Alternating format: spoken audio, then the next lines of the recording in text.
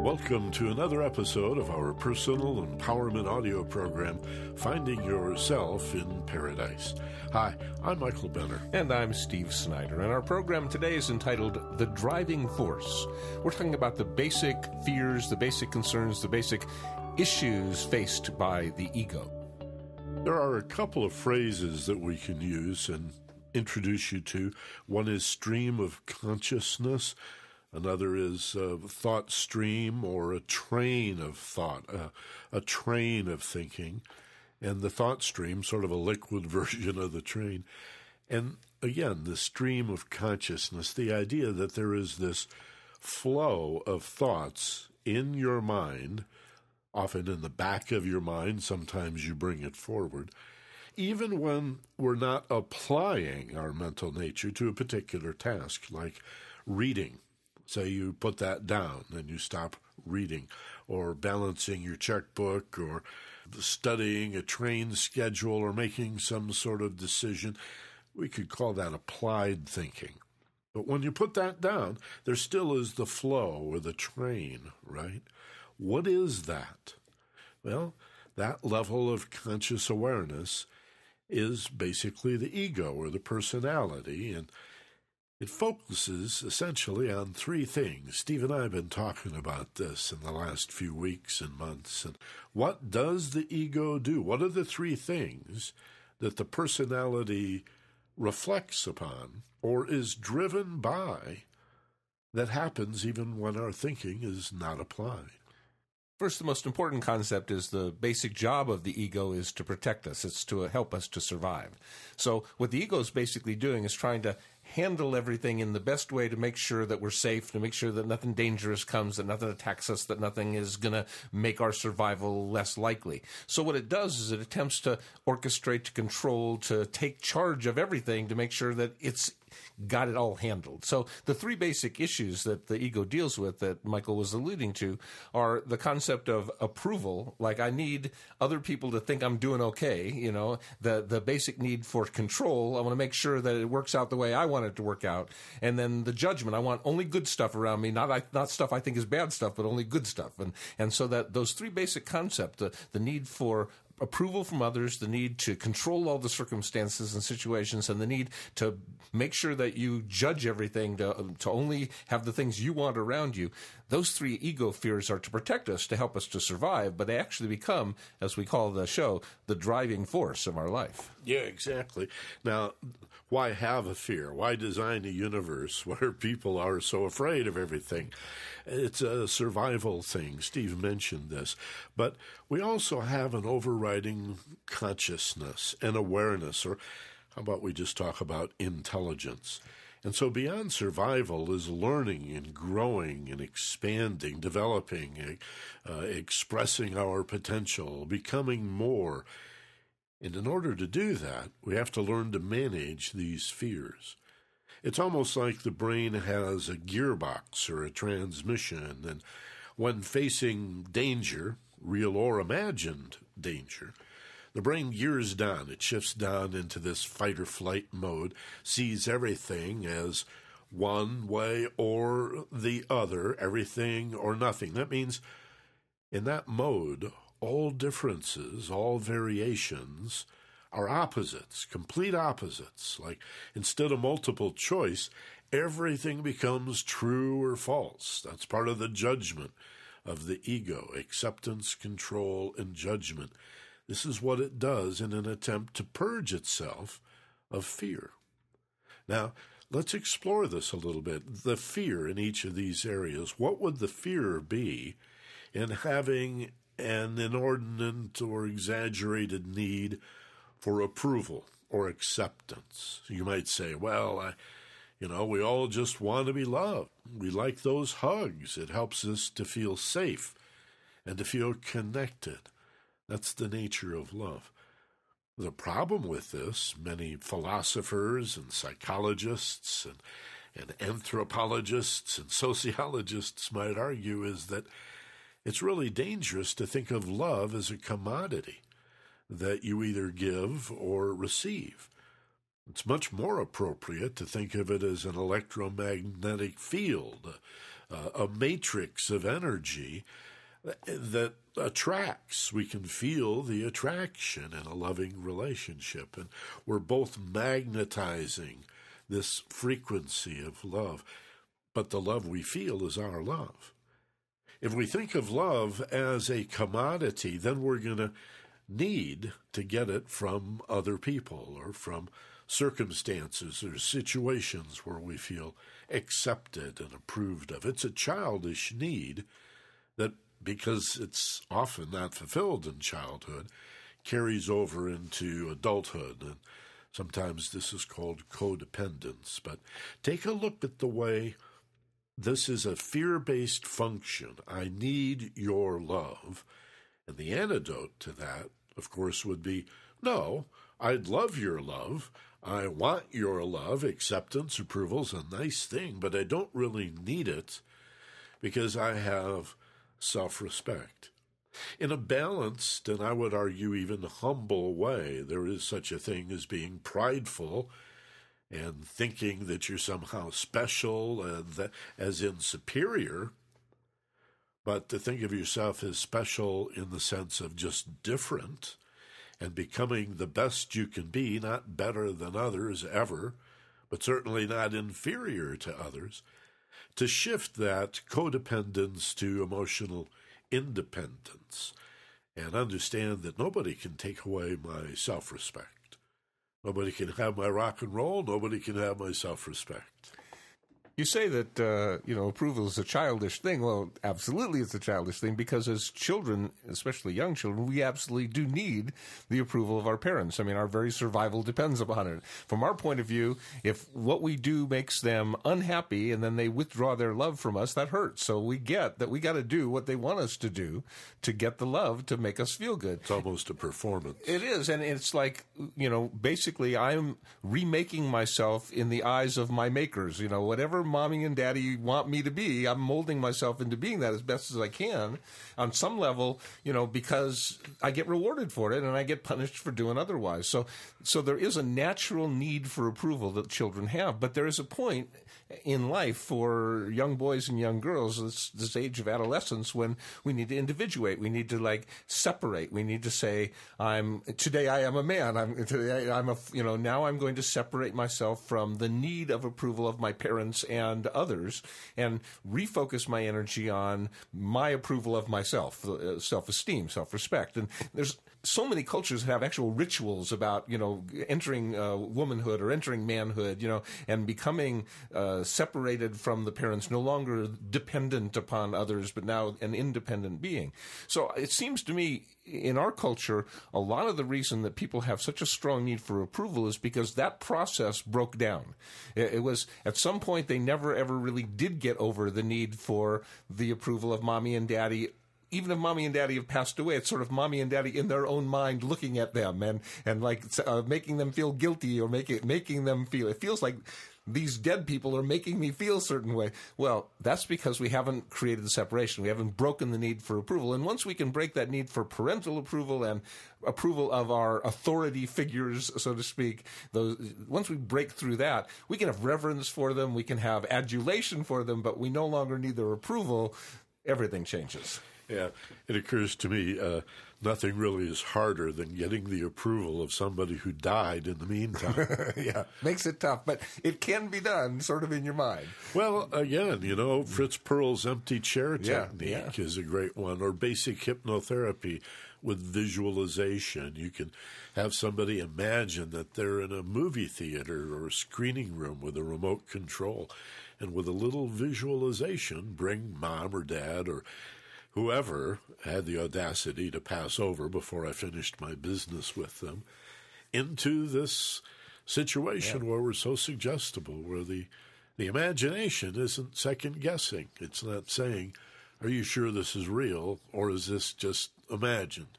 The subconscious, the imagination, doesn't know the difference. Doesn't care. You know, I, I had many, many more conversations in the 47 years since my father left than I had in the 12 years I actually had him in my life. And the, the, adult conversations. Yeah, those never, conversations right. to get over the issues I, I, have with him abandoning me. So, you know, yeah, you never really can actually talk to them again, but you can get over what's left, the residue that's inside of you.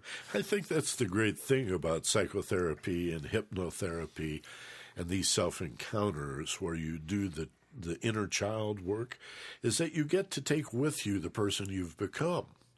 And that often doesn't occur to anybody who's afraid of doing therapy or, or frightened of self examination. And say, hey, the good news is this really smart person that you've become, they get to come along. That's right. And the stuff that was really incredibly overwhelming when you're nine, now that you're 59, doesn't seem quite so Makes scary. perfect sense. yeah, right. Well, no wonder. well, of course I would feel that way. It's so liberating. And and again obviates the need for what we're talking about. But that's the realization or the enlightenment that we seek. After we examine the fear based nature of these driving forces, acceptance, the need for acceptance, for control, and this real drive that we have to judge everything as right or wrong, or good or bad, or my side or not we're going to talk about redeeming it and what to do in its place. So, control is the second area I think we should talk about. This need for control, again, is fear based. You can see how, or feel, or hear how it comes out of a, a survival thing. Self defense, people will say, well, especially men, I, I have to defend myself, don't I? And my response to that is no, not usually. And if you do need to defend yourself, well, what did you do to put yourself in that kind of a position?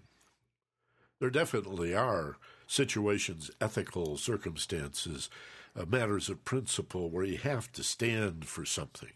And perhaps a search for control in this area is best understood as controlling what you do with it rather than the stimulus. I think this is where the mistake is made primarily in this basic driving force that is the desire to control. It occurs to most of us that that control should be expressed over what's being done to us, the stimulus. I need to control the person, to control what they say or what they do.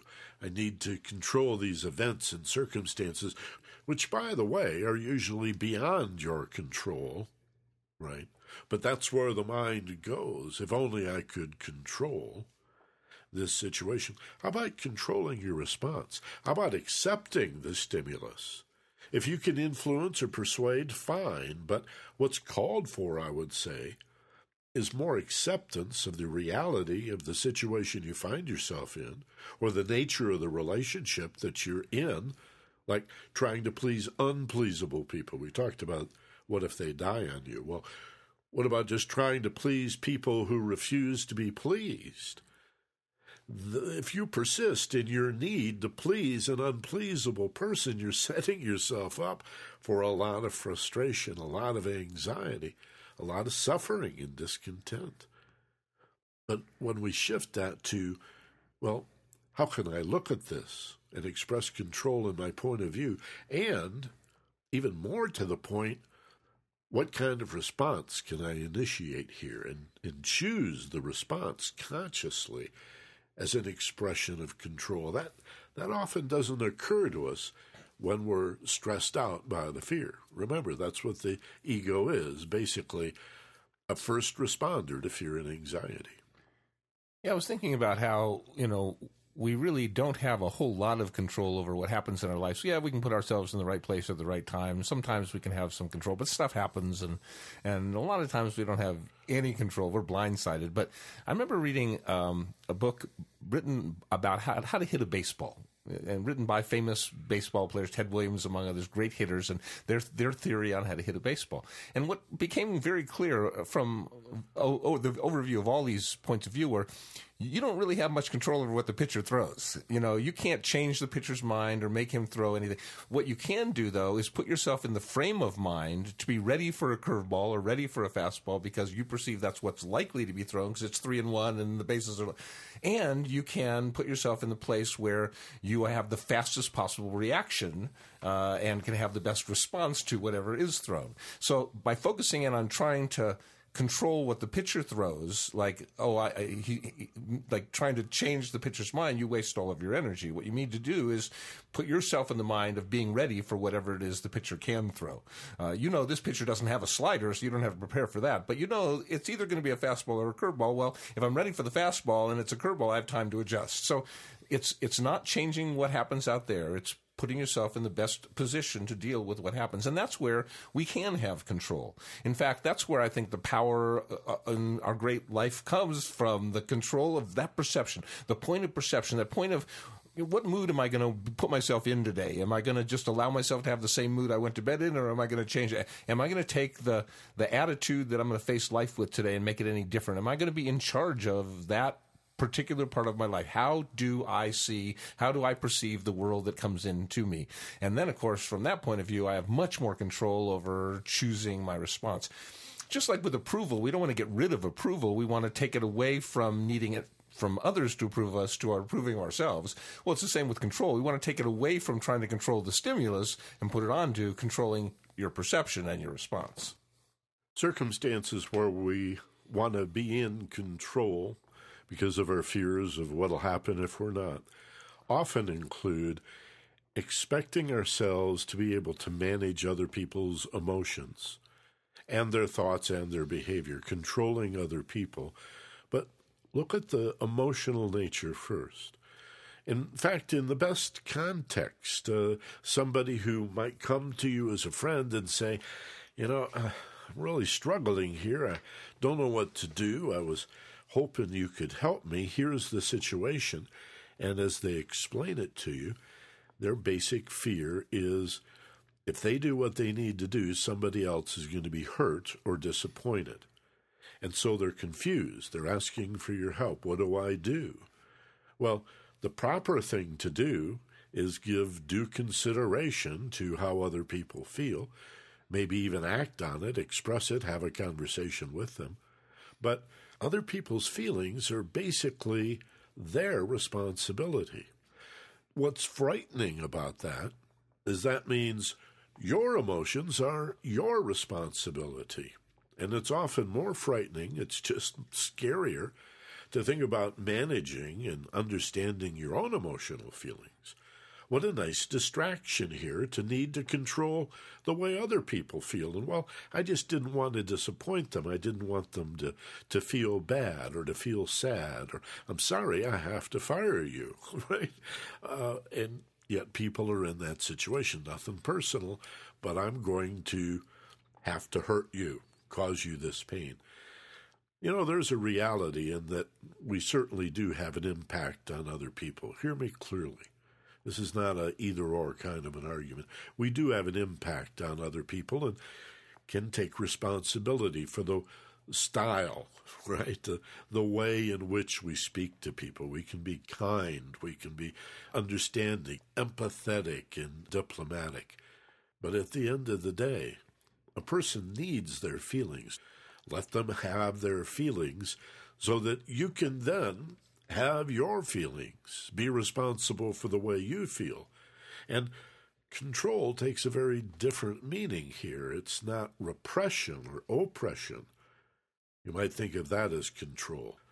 In the most negative way, that is control. But to lift that up, to redeem that sense of control with responsibility for your own feelings, is simply to understand them, uh, to process them, uh, so that they're un- understandable, manageable. I, I think about uh, most grain needs to be rolled or crushed or certainly boiled before it can be eaten. It's uh, the the nourishment in the grain is just not available until it's processed and broken down somehow.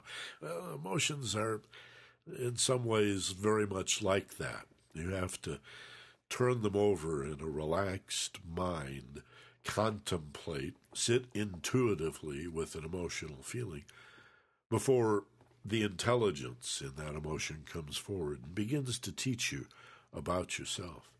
So, I don't know, you want to call that control or not. I think really it's not control. It's it's management. It's understanding your own feelings, but clearly the beyond the benefits that come with understanding yourself better is giving up this need to always be in charge of how other people feel. That's really not your job. Right, because you know, it, it is okay to influence others and to mentor others and to assist others and help others and in, interact with others in lots and lots of ways. What's not okay is to want to control others. And how do you know when it's control or when it's not? It's real simple. If the outcome you're looking for is more in your best interest than in their best interest, that it's control. So take a look at what, what are your motivations here? You know, it's, it's wonderful to help and to assist and to mentor and to help other people in all kinds of ways. But if you're doing it for you so that your ego doesn't have to face a certain situation or that, so that something happens, you know, if you're doing it really not out of the goodness of your heart, but really fear based in a fear based way, then you know that that's about controlling other people. Control is a wonderful thing. I love that I can control my responses. That I don't. That everything I think I don't just say. You know, everything that I. You know, I'm I'm so so happy that I can control lots of things in my life. What I don't need to control is other human beings. They need to control themselves. And if I'm trying to control them and they're trying to control them, there's a conflict going on. And who ought to win that one? It seems to me they have a, a greater right for self control than I have to control anyone else. So, you know, it's only common courtesy to let people control their own lives. Again, you can influence, you can you can help them in lots of ways, but if it's about your best interest you're looking for, then that's not helping somebody else. That's really attempting to help yourself. Yeah, the weather comes to mind. You know that old saw about everybody complains about the weather, but nobody does anything about it. Of course, we can't manage the weather, but the response. That's why we have weather forecasters so that we can better manage our response. A sailor will say, Well, I can't control the wind, but I can trim my sails. A good sailor has a way of sailing into the wind by zigzagging back and forth and picking up a little bit of wind that way. It's a matter of managing your response to a situation rather than what's done to you. It's a pretty profound concept. Going where the weather suits my clothes. well said. Now, the third area is for me the most fascinating. Why we do this, the need to judge everything, right? Like your Judge Judy or Judge Wapner or your God, and this is your job. Again, some aspect of judgment makes perfect sense to be a discriminating person. Uh, we had a conversation one day, a group of us, and uh, my wife was part of it, and we were talking about what does it mean to be non judgmental. And somebody pointed out, well, you know, you, you, do have to be discriminating in in ways that make sense, ways that are relevant. And my wife Doreen said, yeah, like you don't invite the known pedophile up the street to babysit your kids and say you're being non-judgmental, right? That's just not a smart idea. So we do have to be discriminating. You you approach a, an intersection when you drive a car and the light is orange. You have some decisions to make. Do you roll through that orange light? How long are they again? You sort of go into your body for the feeling. Do I keep going? Do I jam on the brakes? Right? Those kinds of decisions present themselves to us countless times throughout a day.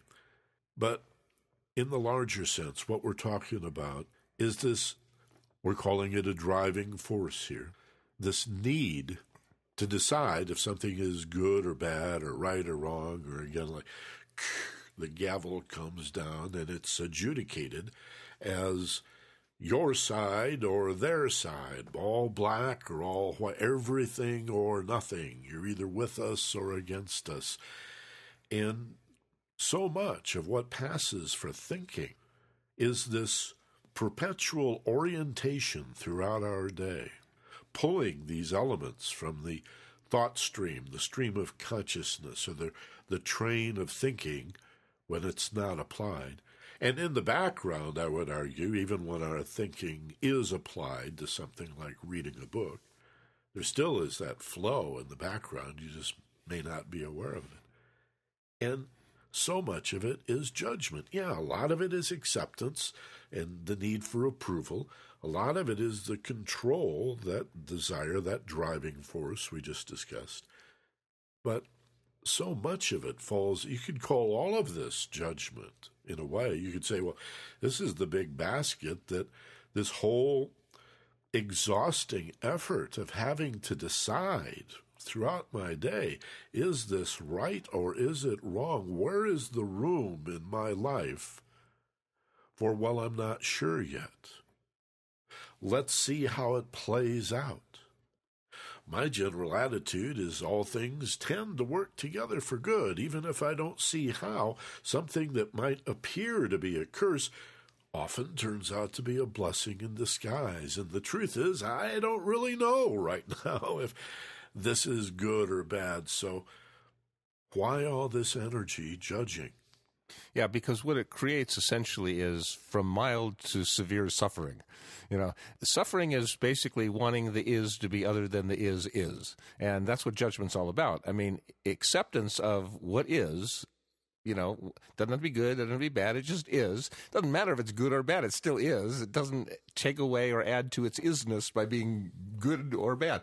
Some things it matters. Like if I'm going to take a piece of food and put it in my mouth, is this is this poison or not? Is this good? Is this bad? But like that was only like a mediocre sunrise this morning. It's not an appropriate kind of judgment you need to make. You know, I mean, you don't have to decide, oh, that's a pretty tree, that's not a pretty tree. You don't have to, you don't have to look at everything and go, oh, yes, that gets the the seal of approval. I like that. Oh no, that does not meet my standards. We spend so much of our time, everything we look at, everything we experience comes through this filter for most people of judging it. Is it, does it meet my standards? Is it good enough? Is it, do I approve of this? Do I, do I want more of this? Do I want less of this? Instead of just going, wow, look at all that is. Look at, look at that stuff. I mean, look at the stuff that is. It's not good. It's not bad. It's got lots of both in it. It's got a shadow side. It's got a bright side, but wow, just look for what it is most of the suffering comes from judging things as being inadequate or in, in not enough or or whatever, and, and that's trying to make the is other than the is is, and again, that's what causes suffering. Another way of looking at the problems that we create for ourselves when we knuckle under to this drive to this apparent need to judge everything as good or bad is it gets in the way of what is your attention becomes so occupied with the disparity between what you've decided would be the best and what actually is. So focused, so obsessed on that frustration and that anxiety that you miss 99% of what is actually happening. Like Steve said, the sunrise or the sunset. Uh, you know, people come from all over the world to Maui, Hawaii often to see the sunrise at Haleakala. And it's a long drive. It's a couple hour drive for most people to get to the summit of that crater and be up there above the clouds as the sun comes up. And every once in a while, you'll hear somebody saying, well, it was too cloudy, or it wasn't what I expected, or it didn't look like it did in the tourist brochure. And it's like, wait a minute, this magnificent sunrise coming up out of the Pacific Ocean through the clouds, spilling out on the top of the clouds, pouring then into the volcano crater at your feet isn't magnificent enough for you. Maybe it's because you're not paying attention to the is that is, as Steve kept saying, right? Maybe this would be enough if we could but place gently our receptive attention upon it. You have to stop the judging. And by the way, the petitioning for acceptance and the need to control that's going along with it. These are the driving forces. And if your survival is at stake, I mean, really, physical survival is at stake, okay. We understand that fight or flight is going to step forward the middle of your brain is going this is whole process with the amygdala. It hijacks all the higher brain functions but it helps you to fight and it helps you to run in the short term. But again the vast majority of our anxiety as we discuss week to week is really not about anything truly dangerous but simply the anxiety and the confusion that comes from constantly petitioning for acceptance, this need to control that which is often uncontrollable, and the perpetual judgment. Is this right? Is this a good thing? Is this bad?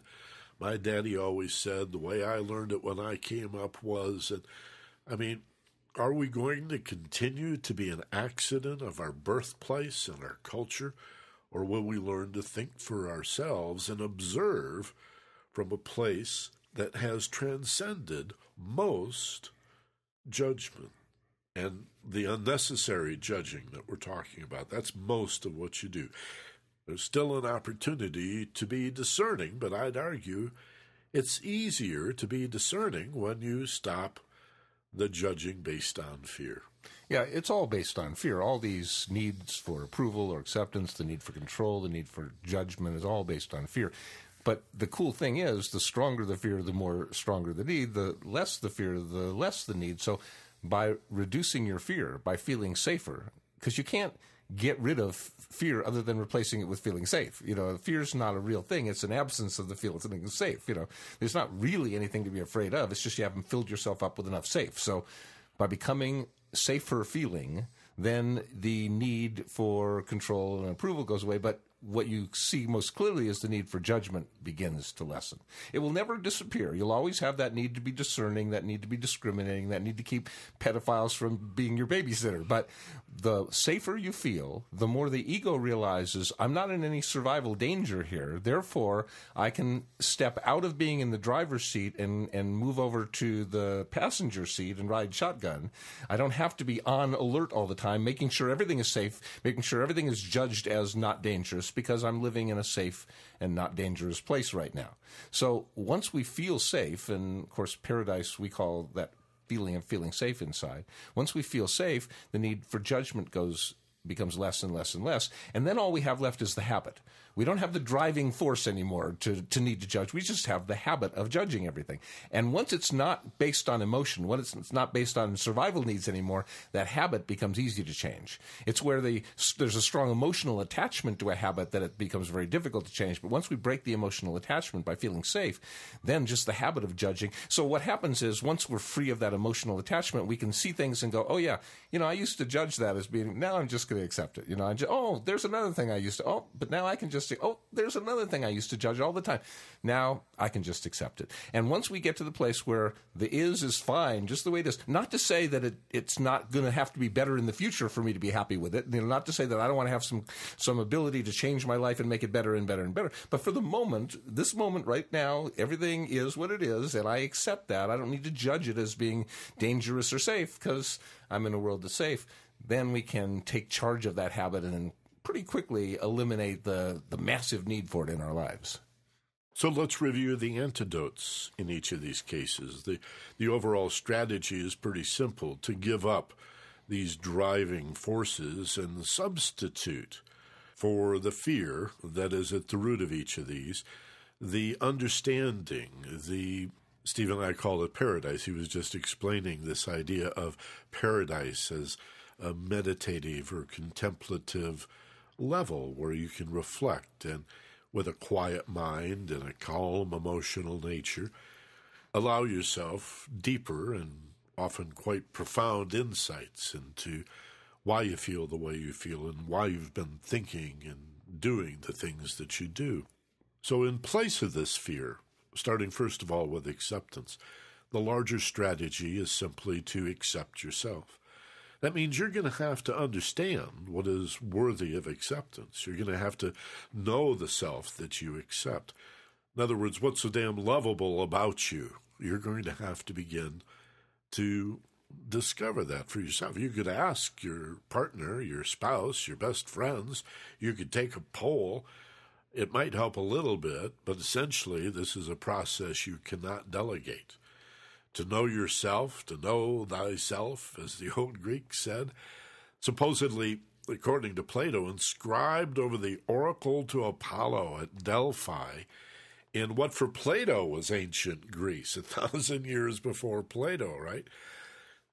Inscribed over that temple were the words, Know thyself.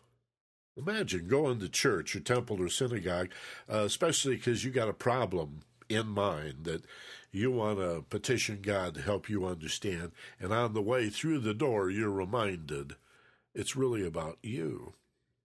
You see? It's really your life, and these are your feelings, and these are your thoughts.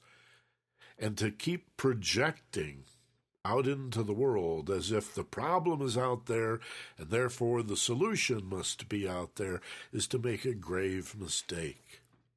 To create desires that are going to lead to a lot of anxiety and a lot of discontentment a lot of suffering, if you will. All of that, why can't I feel good enough about myself? Or why can't I have more control in this situation? And what's good about it and what's bad about it? That judgment, these three areas. Well, let's start, first of all, with the antidote to this driving force that I need other people to approve of me and accept me.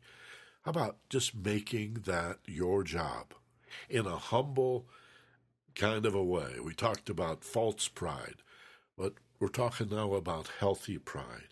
So it's not a healthy self that believes it's superior in any way or fears that it might be inferior in any way. The, the gentle focus is upon your uniqueness, your individuality, and and that allows you to be better and better in a way that's just different from everybody else. Not better, not worse, just different. Find your self respect and your self confidence, your self esteem in I'm unfolding as a unique being and I'm not better or worse than anybody else because I'm one of a kind.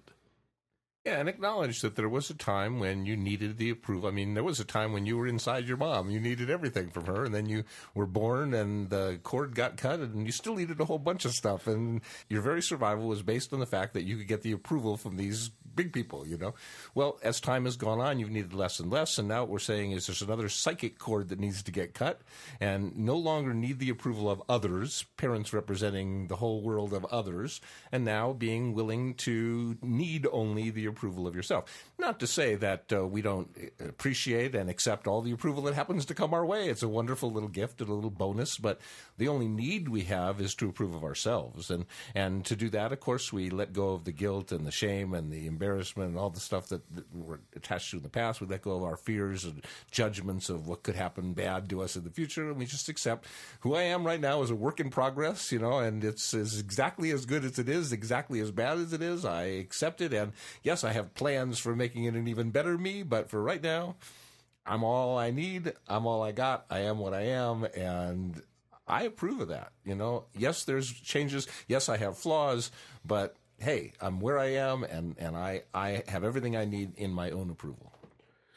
All right, then the strategy for releasing this fear based force that's driving us to try to control the external world. The antidote for that release it, give it up, let it go, and commit yourself to managing or controlling, if you will, your perception and your response. All right. Yes, there may be times, as Steve was saying, that you could influence or persuade and may want to pursue that behavior. But you don't have to put all of your eggs in that basket. Influence and persuade to whatever degree you can and remain in your ethics. But then drop back to how many different points of view, how many different ways are there for me to look at this? And how many different responses could I consciously initiate instead of reacting knee jerk and ending up being perceived as a jerk? I'm sure that's where that came from. We can consciously choose to manage or control, if you will, our perception and response. And then the second point, I think, that acts as an antidote for this driving fear force of needing to control the world around us is to begin to consider that we're, we're micromanaging our lives unnecessarily, that things often work out all by themselves. Maybe that happens a lot of the time. And if we would sort of get out of our own way and move more in tune with the flow in our lives, there is a flow, there is an energy, there's an ebb and a flow, there are rhythms in life. There's a number of systems that are available to help people try to tune in better to these biorhythms or other rhythms. And again the ebb and flow all spirit all energy oscillates and vibrates. It has an in breath and an out breath. So you work with that. That's not controlling it you see. That's just managing it. It's a much better word for working with the ebb and flow in your life. Yeah, for many, many people, their primary pastime, both in applied thinking and in picking out from the stream, is attempting to control the future through a process called worry. You know, thinking about what could happen and what you would do if it happened, and trying to control and make things happen a different way in the future. And and you know that's a waste of time. I mean, it's it's basically putting a lot of energy into stuff you don't want to have happen and making it even more likely to happen. But there's no control over the future in terms of through the process of worry. The way you control the future, if in fact you can, is to co-create it. Is is to focus on what you do want instead of what you don't want. If you have any effect over the future at all, it's not in preventing things from happening, but rather creating things happening. So what we want to do is we want to, as Michael so often said, not get rid of problems, not attempt to live in a problem-free world, but rather become better and better problem solvers. Uh, we want to be we want to be the middle linebacker in football who's ready for whatever, whether it's a run or a pass. You know, whatever's going to happen, I'm going to be at my best. I'm going to react, respond to it in the best way. I I can't control what they're going to do, but I can control the way I perceive it and the way I respond to it. No matter what happens, I'm on my toes. I'm I'm on the ball. I'm ready to handle whatever life has to toss to me, and I'm excited about not knowing what's going to happen. I'm excited about there being this incredible unpredictability and amazing, you know, change and growth and stuff that happens in life. And I look at life as a, uh, this wonderful game, this wonderful learning process that I have an opportunity to, to play. Now, if we look at it that way and, and not need to control what comes in, but just being on our toes and ready to handle whatever comes in in the best possible way we can, then we're putting control in a place where we actually have some. Putting our eggs in the basket of attempting to control what happens to us through the process of worry spends a lot of our energy, a lot of our psychic energy wasted on something that at best does nothing and at worst actually helps co-create what you don't want and taking the time and energy that you could instead put into becoming a better co-creator. And then the antidote for the perpetual judging, this third driving force, ego based, fear based, needing to judge everything, is essentially just giving it up. Uh, the absence of judging, I'm going to call witnessing. Uh, how about paying attention or just watching without judging? It, it, it's not like I'm not going to judge, so therefore I'm not going to pay attention.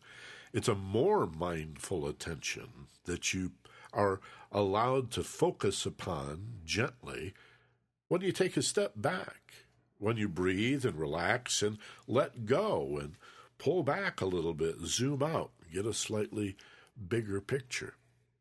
Then we recognize that the judgment is usually unnecessary and often not very wise.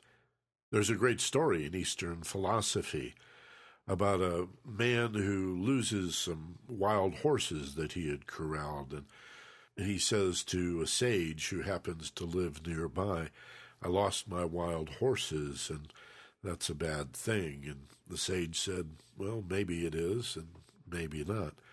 Well, the man's son goes to retrieve the wild horses and succeeds, gets most of them back in the corral, and so a few days later, speaking to the sage, well, my son, he corralled those wild horses, most of them anyway. I got them back, so that's a good thing. And the sage said, Well, maybe, maybe not. And shortly after that, the son was trying to saddle break one of these wild horses, and he was bucked off and broke his leg. And a little later, when the man saw the sage, he told him that story. Ah, my son fell off one of those wild horses, broke his leg. Surely that's a bad thing. Sage says, maybe, maybe not. And soon thereafter, the military came through looking to draft men for the war, for the foreign wars. Surely this young man would have been taken, but for his broken leg.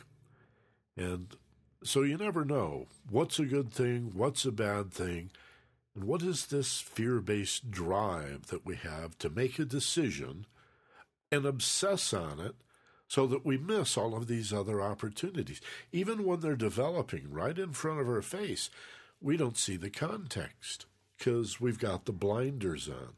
We're focused on having decided, oh, this is a good thing. Oh, that would be a bad thing. And often, where's the truth? That's right. It's in the middle. It was mostly good, but it had a downside to it. Oh, it was a disaster except for this one little redeeming bit. It could be anywhere in the middle 60 40, 90 10, right? Are there absolute truths? Perhaps. It's arguable. But the vast majority of truth in the world is subjective, it's personal, it depends upon your point of view, it's variable. In other words, it's a relative truth. It's very important as a critical thinker that you're able to go beyond the binary nature of absolutely one way or the other get out of the end zones and back on the playing field. The end zones are out of bounds. There's nothing happening in everything or nothing. That's out of bounds. Get back on the playing field. It's always some combination, some part of that pendulum swing, never the extremes, where truth is found, except I should be careful. Even a word like never tends to move in that direction, doesn't it? So again, you know, I think there probably are absolute truths in a spiritual sense, but we have to acknowledge the relative nature of truth, and that certainly helps us to be less judgmental and more discerning. I think, are you coming from fear with that judgment, or are you coming from fear in a sense of being separated and threatened? That's causing you to do that judging? Or is it a simple discernment, a recognition that you make that hopefully is intimate and personal and really about you, that doesn't come from a fear place, but from a peaceful, loving disposition? So the antidote to judging as much as you judge is to get out of the fear, is to feel safe. And then to recreate the habit of instead of judging, accepting look at the world now. Take that step back, that place Michael was talking about, that witnessing place where you're observing your thoughts and feelings, and notice where in the past you'd have had a thought and go, that's a good thought or that's a good thing or a bad thing. Now you go, that's a thing. That's a unique thing. That's an interesting thing. Let me observe that thing as a thing, as a separate and wonderful thing. Instead of deciding to like like it or not like it just look at it just observe it just experience it.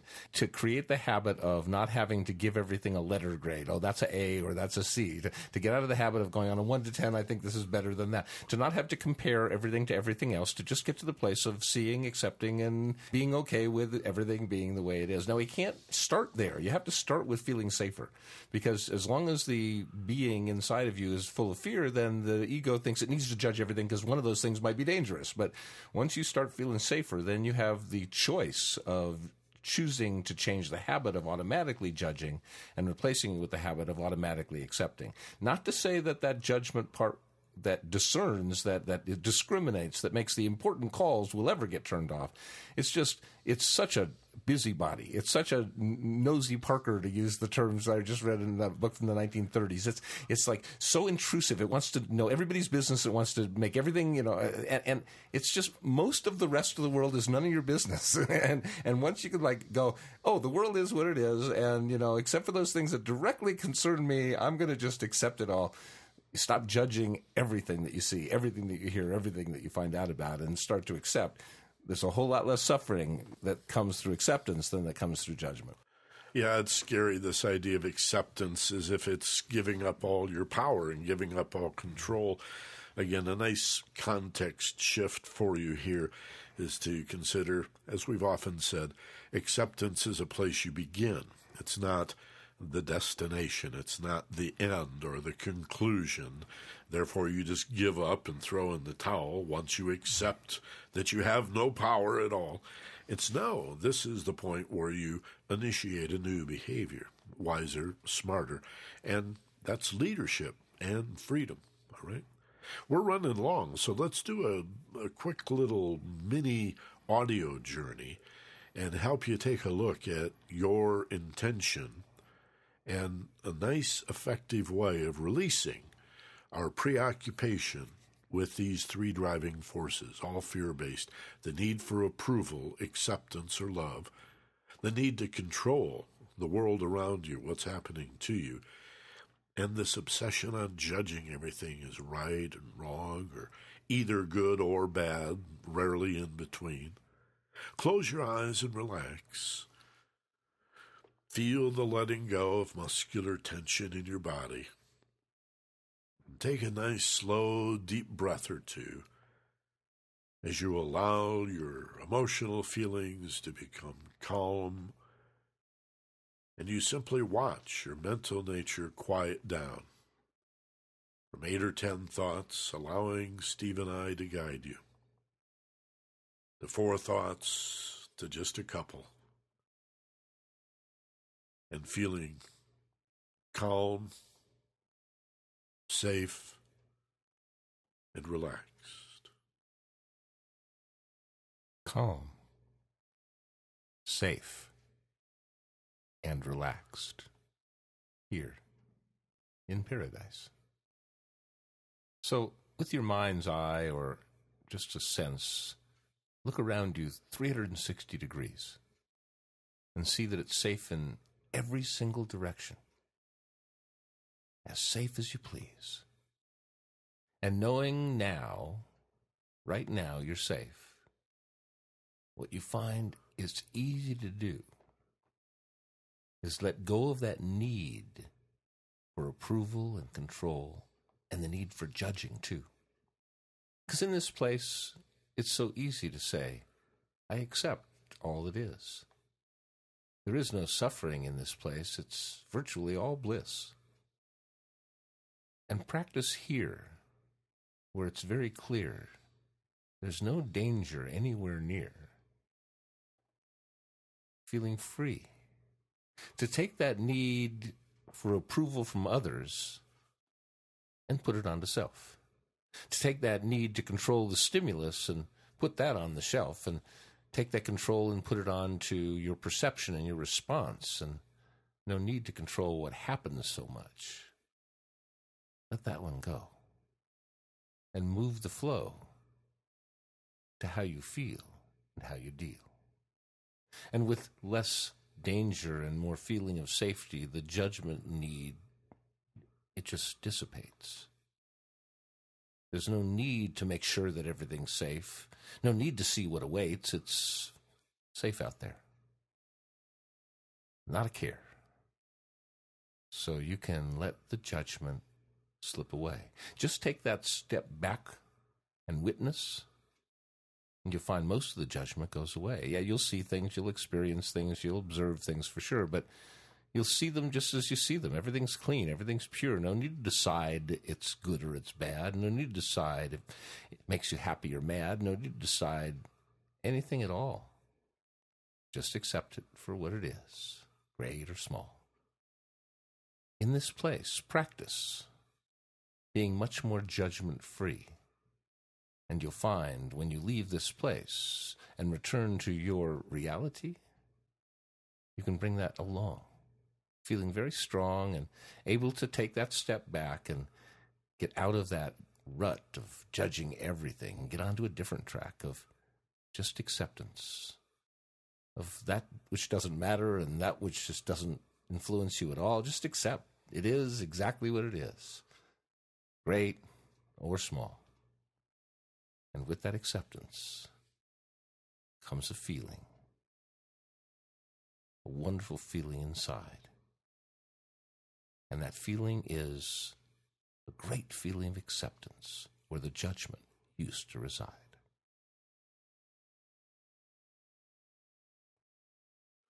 Wise women and men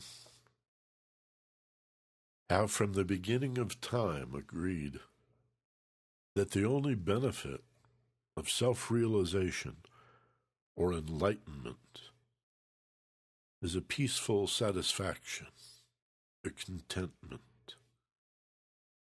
It comes out of understanding that everything is just fine as it is. It's perfect. Does it need to be changed? Sometimes it does. Something that's evil, something that's hurtful, something that causes suffering can be redeemed or uplifted, transmuted, transformed. There's really quite a few words in the English language for this refinement, this improvement. Simply acknowledge the longing in your heart to make a difference. But to do it gently, the way you would cultivate a garden, working with natural energies rather than pushing the river or fighting against nature or needing reality to be other than it is. And accept as a place of beginning where you initiate either a whole new behavior or a more enlightened response, returning negatives with positives, returning violence with gentleness, returning hatred with love, and fear with understanding. So take that need for approval from others and accept that you only need to approve of yourself. Take the need to control the circumstances and what happens to you. And know that you need only to manage your perception and response. And take the need for so much judgment and bring it to a higher place where it's now just for discernment and discrimination. And in those very special cases where you need to do that, but in other cases, you'll find that instead of judgment, what now comes to mind is acceptance, being willing to let what is be is, and to recognize that whether it needs to change or stay the same, it is what it is. So release the need for approval and control and judgment too, and you'll find that with the love replacing the fear, you become a better you. And now, as it feels comfortable to you, become aware of the external circumstances you find yourself in, the room you're in. Bring yourself back to the present reality consciousness, and with a deep breath, open your eyes and bring yourself back to wide awake. Feeling fine, better and better. Happy New Year. By the time you listen to this program, it's conceivable that you already missed the Maui retreat. I sure would like to think that you're listening to this program in advance of the retreat so you can make a, a decision to join us. And, and for five days, immerse yourself intensively in a study of mindfulness, this very sense of detachment that expands your view. Think of the word to be mindfully detached is actually to be more involved with but from an elevated point of view, with a grander perspective of what actually is. And you find the joy and the happiness, the, the peace of mind, and really the intelligence and understanding that's available in living moment to moment rather than living in those stories that we rehash, those stories that we repeat over and over in our heads to ourselves, sometimes to each other. Those stories are just your stories. That's just one version. You're telling yourself those stories for some particular reason. You're getting some sort of payoff from it. But if you're stuck in the same stories, you're not growing, are you? You need to move on. Let us help you with that. Come and join us in this Walden like experience. You know, Thoreau said he went to the woods to learn to live deliberately. I would offer you that same invitation. Check out focusedpassion.com and click on the Maui Retreat button. Come and see the pictures anyway. It's such an incredibly beautiful place, you know. We get it every day, but it's it's something you can never have enough of. It's just something I wake up every morning and feel so grateful and appreciate. Well, enjoy uh, the retreat in your mind if you don't actually come, but if you do, we look forward to seeing you the weekend of, or the week, the week of Valentine's Day and uh, February 13th through 18th. Hope to see you there. As always, be gentle, love life, and take care of each other. For Steve Snyder, this is Michael Benner. Aloha from Maui.